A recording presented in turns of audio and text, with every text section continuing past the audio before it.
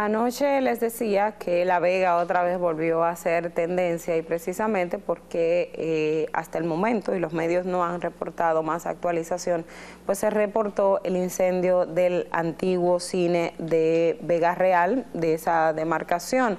Eh, hasta, hasta el momento pues no se ha notificado de que hayan pérdidas humanas o pérdidas eh, mortales. Eh, hasta el momento simplemente pues en los medios ha circulado eh, la parte del incendio y las imágenes que se han compartido en los diferentes escenarios. Por el momento el cuerpo de bombero anoche pues trabajaba precisamente en sofocar el, fuego que se produjo, reitero, en el antiguo cine Vega Real de La Vega. Y siguiendo precisamente con el caso de La Vega, pues para el día de hoy pues eh, se tiene contemplado eh, ya sepultar el cadáver de la joven que falleció en el derrumbe del edificio de cuatro niveles de eh, La Vega de manera particular. Reitero que hay quienes han planteado precisamente de que habrían más empleados Estamos esperando por parte de las autoridades pues que efectivamente confirmen o no estos hechos. Sí escuchaba y creo que era un personal de eh, relacionado a la embajada haitiana, es lo que eh, asumo porque estaba identificado pues que ayer se apersonó a ese espacio donde estaban los organismos de socorro todavía buscando identificar si que quedaban algún sobreviviente o si había más sobrevivientes bajo los escombros. Se habla de que eh, al unos tres empleados eh, o obreros haitianos estarían también trabajando en lo que fue este edificio de RIS mueblerías en, La Vega, donde lamentablemente falleció una persona y otras cinco fueron rescatadas con, vida. La joven, que, la joven Jessica, que fue la última eh, sobreviviente que sacaron, ella eh, permanece en el hospital, en el área de cuidados intensivos, que es la información que se ha notificado en la parte de traumatología.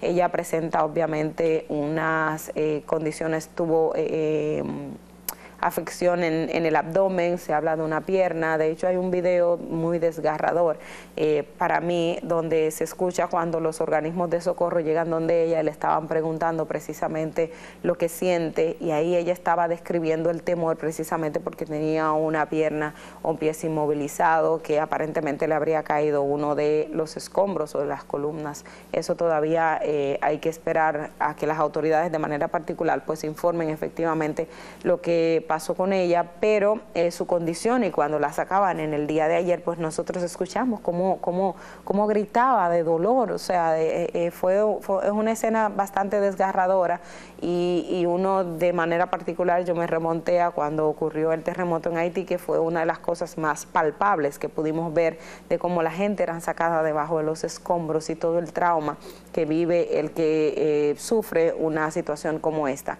Las autoridades pues ya han indicado que ha comenzado la investigación, el CODIA de manera particular. Se dice que es un edificio que estaba de tres niveles y que luego fue, eh, se elevó a cuatro niveles. Es decir, eh, cuando ocurren los hechos de manera particular se comienzan muchas voces, es decir, la gente comienza a decir de todo un poco, a especular. De hecho, se recordó un incendio que tuvo esa misma eh, mueblería hace unos años y que se entiende que su infraestructura precisamente pudo ser afectada y que por eso estaba parte del proceso de remodelación. Eso no lo eh, tampoco lo han terminado de confirmar o descartar las autoridades eh, que están a cargo de este caso, pero el CODIA ya ha adelantado de que esta empresa no tenía permisos para la remodelación, es decir, que hay una serie de elementos que de manera particular pues se han tomado en consideración. Lo que sí es un hecho es que penosamente pues ya la joven que trabajaba en la empresa RIS Muebles de la, de la Vega pues será sepultada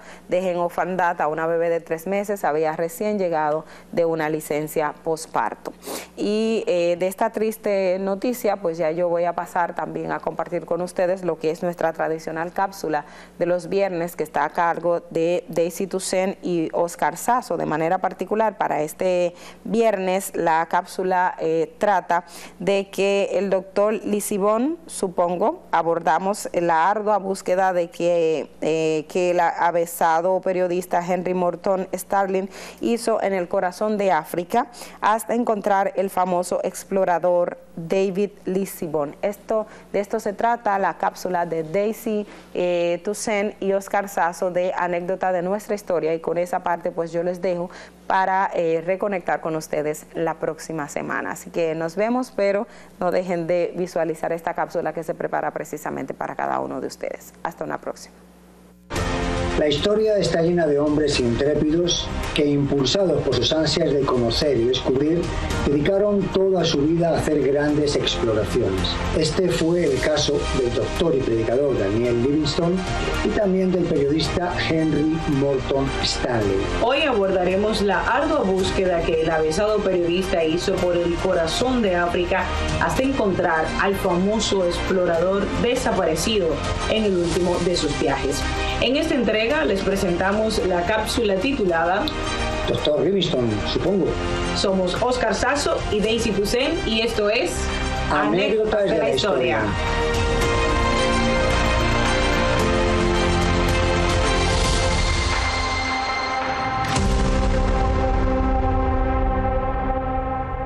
A principios del siglo XIX, África ofrecía ya una costa bien explorada y con mucha actividad comercial gracias fundamentalmente al mercado esclavista de los dos últimos siglos.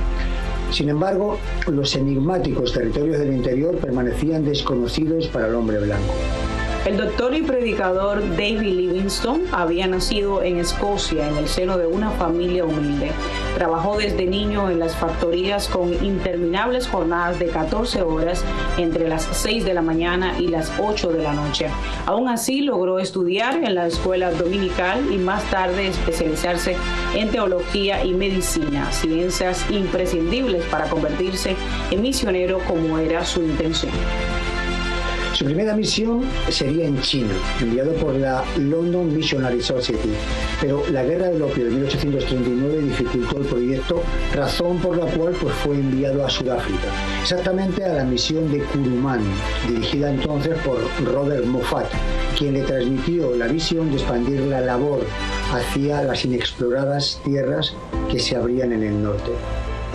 En una misión de vigilancia y protección, Livingstone fue atacado por un león antes de que sus compañeros pudieran abatirlo. De las heridas provocadas debió recuperarse en Kurumán bajo los cuidados de Mary, hija de Moffat. Inevitablemente se enamoraron, se casaron y formaron familia con quien viajaba en carretas tiradas por bueyes. Así atravesaron el desierto de Kalahari, alcanzando el lago Gami y después el río Zambeze, lo que abría la puerta a nuevas exploraciones. Pero en ese punto llegó a la conclusión que esa era una vida demasiado expuesta para su esposa y sobre todo para sus hijos. Por esa razón, en 1852 decidió que ellos se establecieran en Gran Bretaña. Livingstone regresó al Zambeze a continuar con su misión. Llegó a liberar en, por aquella época una caravana de esclavos cololos, tribu que a partir de entonces pues, fue aliada, de quien su rey, Sekeletu, le proporcionaría entonces pues, fuertes porteadores para seguir con todas sus exploraciones. Llegó con ellos hasta las cataratas Mosi Watungia, el humo que truena por el vapor, que él rebautizaría como las Cataratas Victoria en honor a la reina de Inglaterra. Finalmente logró llegar hasta el Océano Índico y después otra vez hacia el Atlántico. A partir de entonces tuvo como visión abrir rutas de comercio legítimo como alternativa plausible a la trata de esclavos. Regresó a Inglaterra en 1856 y fue recibido como un héroe nacional. Su fama le llevó a escribir libros y a dar conferencias. Sus trabajos de cartografía fueron reconocidos por la Royal Geographic Society y entró a formar parte de la Royal Society con un cargo de cónsul para las zonas exploradas del África suroriental. El segundo viaje fue promocionado por el gobierno pero ni los exploradores que le acompañaron ni los barcos fluviales que le proporcionaron resultaron adecuados, por lo que muchos lo consideraron un fracaso. El tercer y último viaje lo hizo con recursos propios y aportaciones de algunos particulares. Esta vez recurrió a sus fiables porteadores, a sus bueyes y a sus botes portátiles para lograr el sueño de llegar a las legendarias y enigmáticas fuentes del Nilo. Pero después de seis años sin noticias de la expedición, James Gordon Bennett Jr., que era director del periódico The New York Herald, convocó al curtido reportero de origen galés Henry Morton Stanley, quien ya contaba con otras experiencias africanas, y entonces le propuso el encargo de salir en busca del desaparecido Dr. Livingstone sin escatimar en medios, eh, con el fin de lograr lo que él llamó el reportaje del siglo. Así fue como Stanley partió tras su pista, siguiéndola a partir de la isla de Zanzíbar, desde donde pasó al continente para organizar un equipo con más de mil porteadores que cargarían con todo lo imaginable, atravesando junglas, ríos y sabanas, preguntando en cada poblado, indagando con las caravanas que se cruzaban en el camino y sofocando con actos de motín a causa de la extenuación de los nativos. Finalmente, alguien aseguró haber oído que el hombre blanco estaba en Gigi, pero una vez consultados los precarios mapas que tenían, concluyeron que aún les faltaban 500 kilómetros, por lo que tuvieron que incentivar en algunos casos y forzar en otros a los sufridos porteadores. Hasta que después de varios meses de marcha, arribaron hasta el mencionado poblado junto al lago Tanganica donde se produjo el esperado encuentro el 10 de noviembre del año 1871. Narra Stanley en su libro Cómo encontrar Livingston, que provocó un encuentro con todo el protocolo y cuando tuvo delante al envejecido y casi irreconocible explorador, pronunció la famosa frase que da título a esta cápsula, Dr. Livingstone, hay preso, conocida en español como Dr. Livingstone, supongo. Y continuó, por fin le encontramos, decía. El veterano explorador muy digno aclaró que agradecía las molestias, pero que en realidad él no estaba perdido.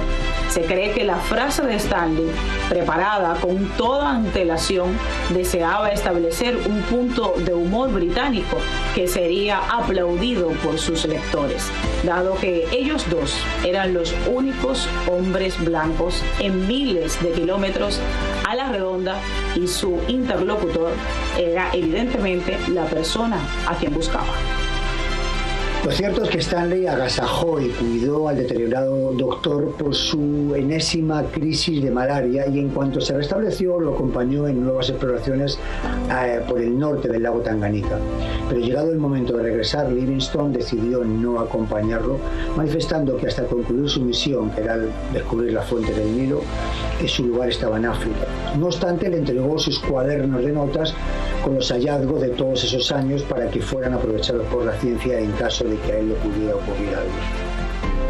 En Chimpundú, la aldea del jefe Chitambo, en la actual Zambia, a la edad de 60 años moría Livingstone de una hemorragia interna debido a la disentería que suele provocar la malaria. Debió fallecer mientras rezaba arrodillado a los pies de su cama. Según la tradición de la tribu, su corazón fue enterrado bajo un gran árbol del poblado y sus restos llevados hasta la costa en un viaje de 1.600 kilómetros para ser embarcados hasta Londres y enterrados en la abadía de Westminster. Poco podía saber este famoso explorador que las rutas que descubrió, lejos de beneficiar a los nativos africanos, provocaron el apetito de las potencias europeas para explotar sin medida los recursos naturales del continente, haciendo un reparto colonial que ignoraba los territorios establecidos anteriormente por los diferentes reinos autóctonos. Todo esto provocó pobreza y conflictos que se han acarreado hasta la actualidad lamentable realidad que sin embargo no resta un ápice al legado científico que nos dejó el médico y misionero escocés David Livingstone, a quien le fue la vida en ello y además de manera voluntaria coprotagonizara esta irónica anécdota del este.